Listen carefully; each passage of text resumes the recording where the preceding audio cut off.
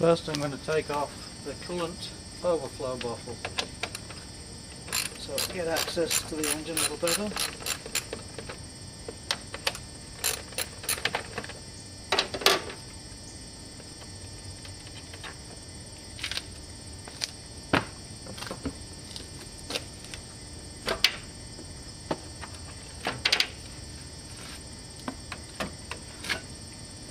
Now I'm going to take off the right hand part of the front cover.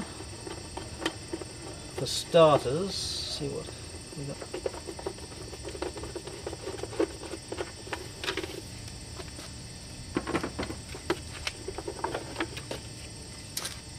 Now the worst part is I've got to take the pulley off, the main crank pulley, to get the rest of the cover off. I'm going to have to do that anyway if I replace the timing belt tensioner so that I can reset the timing.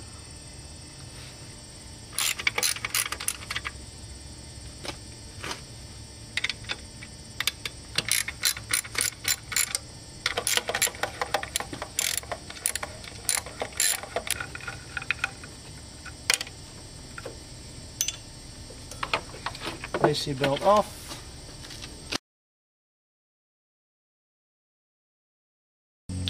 Now I'm going to take off the uh, radiator fans.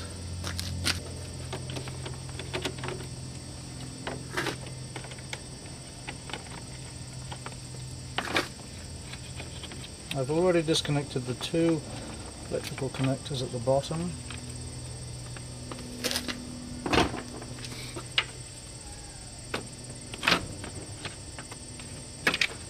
One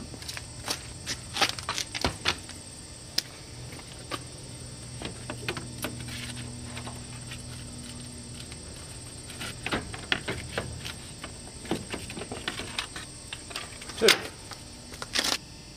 First of all, I'm going to put on my homemade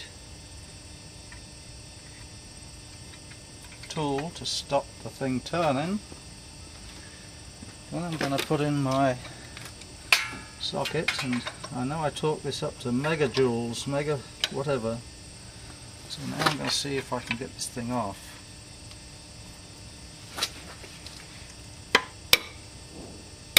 There we go.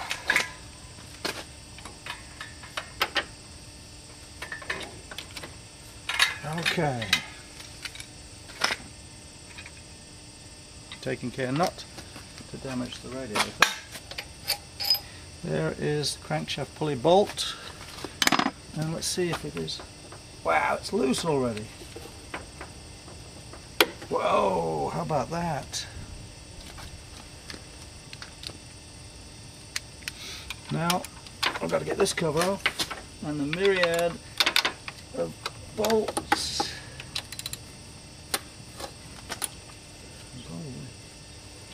Maybe, okay.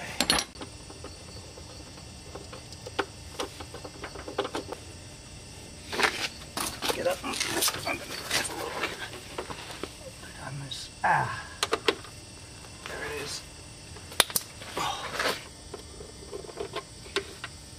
And, as they say in England, Bob's your uncle. Okay, see what we've got here. So far this has taken me uh, 15 minutes probably. Okay, let's start her up and see what happens.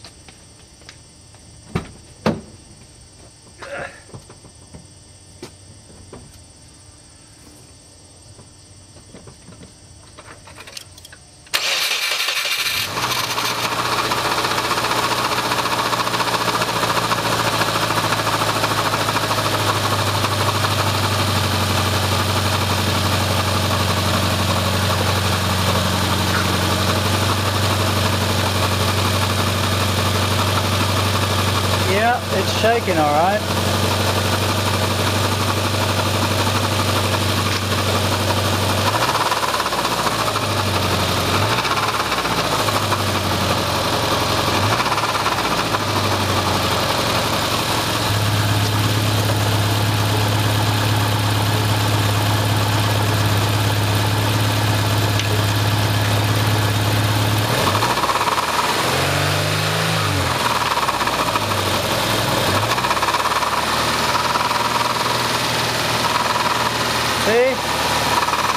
That's what it is.